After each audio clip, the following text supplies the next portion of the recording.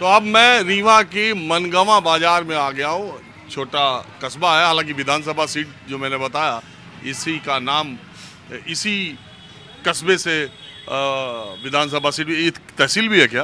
तहसील भी है। हाँ? तहसील मनगवा है। तो आपके जो सिटिंग विधायक बीजेपी के थे उनका टिकट काटने की कोई खास वजह?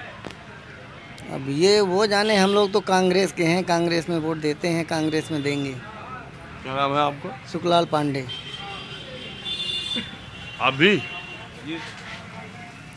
ये हमारा गाँव शहेबा है। और वर्तमान में मैं ग्राम पंचायत शहेबा का सरपंच हूँ। और पार्टी कौन सी?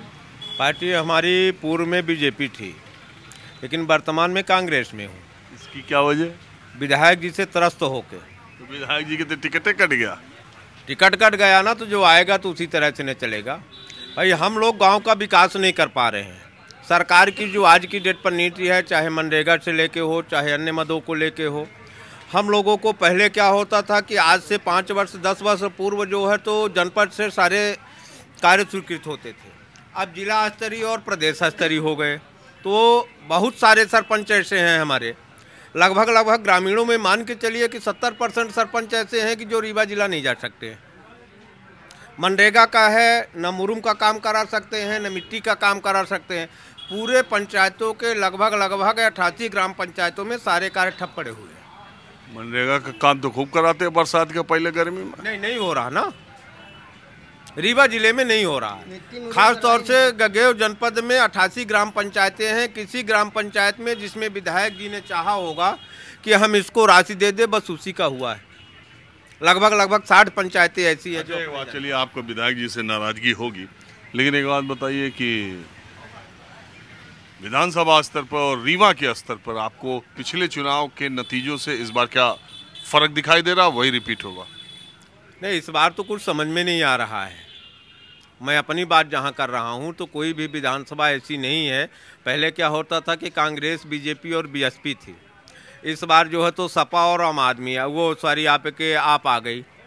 तो ये सारा गणित जो है तो बिगड़ा हुआ है अभी कुछ भी कहना लेकिन वो आ गई लेकिन ज़्यादातर सीटों पर आप देखें 230 सीटों में ज़्यादातर सीटों पर मेरे हिसाब से लड़ाई कांग्रेस और बीजेपी में होगी। तीसरी हाँ। पार्टी बहुत कम सीटों पर मुझे लगता है ऐसा कि क्योंकि बाद में जाते जाते चुनाव अब केवल आमने सामने का हो जा रहा है ज़्यादातर जगह। हाँ इस चीज़ को मानते हैं। फाइट कांग्रेस और बीजेपी में ही रहेगी अब उसमें कौन भारी है ये कहना बड़ा कठिन है। मामा की आएगी सरकार की जाएगी। अब मामा की सरकार तो हमें नहीं लगता। बहने जो हैं चलिए ठीक है मामा है पर बहन वही जाऊँ ना। हाँ तू कहा था कि न देवे मामा का। तो घर के बात में नहीं कि मामा के बात में नहीं? मामा तो बहुत दूर के कौड़ी हैं। अरे कहाँ मनिए भाई हम बत, बतियावा औरतन से तो 1250 पाओ थे हंसे लगे थे कि हाँ मिलत है। बारह सौ पचास पा के हस्ती ला हाँ भाई दो महीना पाई नहीं महीना खुदे न पाई सत्रह तारीख के वोटिंग है दस तारीख के डाली न पाई तो फिर न बदल जाई कि सब हवा हवाई रहा। और अगर पड़ गया तो? पड़ गवा तो फिर बनखर आए है। देखिए क्या है मैं अपनी बात करता हूँ ग्राम पंचायत से जुड़ी हुई बात करता हूँ। ग्राम पंचायतों में वर्तमान में ये स्थिति है कि ना तो सर, अरे आप अपना खाली सरपंच जी अपने ही कहानी गा रहे हैं। और सरपंच और सरपंच सुनिए हर गाँव का सरपंच प्रधान को पूरा गाँव वाला किनारे कहता है कि खूब मल- मना रहे वो जमाना था। मोबाइल आप ले लिया नया ना? वो कहता होगा अरे प्रधान जी के मोबाइल हर महीने में बदलता है। नहीं नहीं हर महीने तो नहीं बदलते हैं। लेकिन हो गया सभी सरपंच तो लिए हैं तो वो भी लिए हैं। नहीं नहीं हम कह रहे हैं ये आम तौर पर गाँव वाले कहते नहीं है प्रधान और सरपंच के बारे में? अरे गए प्रधान के बारे में तो सब कहते हैं। सब? ये आम आदत है लोगों की कह देने की। अरे सरपंच इतना काम करा रहा तो इतना खा गया इतना खा गया लेकिन सरपंच को मिलता क्या है? आप भी रहे हैं क्या? हम भी रहे हैं तभी तो बात कर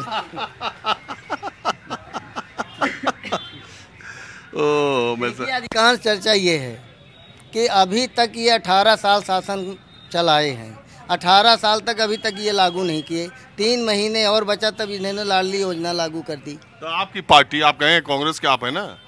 आपकी पार्टी भी तो क्या नाम पंद्रह सौ देने को नारी सम्मान योजना की बात कर रही है। आपकी पार्टी पैसा देने का नहीं कर रही है? नहीं कह तो रही है। हमारी पार्टी कह रही है पैसा देने के लिए हाँ, गारंटी बता ये रहे योजना चालू किए हैं तो अब ना चालू किए जिसके पहले कह नहीं कर दिए थे अठारह साल पहले पंद्रह साल पहले कह नहीं चालू कर दिए थे।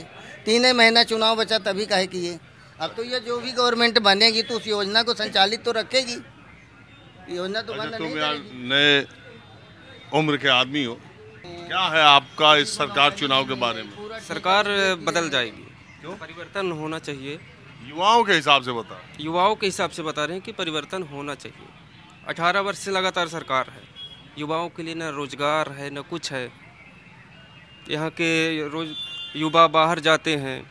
कम से कम रीवा में भी होना चाहिए।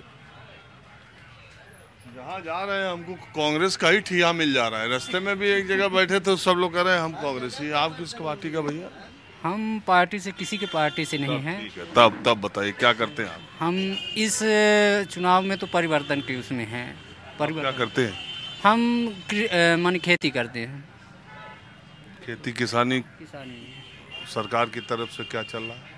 सरकार की तरफ़ से कुछ नहीं है जो है तो सब लोग लुभावन वादा करते हैं और इसमें जो है तो हम लोग खुश नहीं हैं इसमें।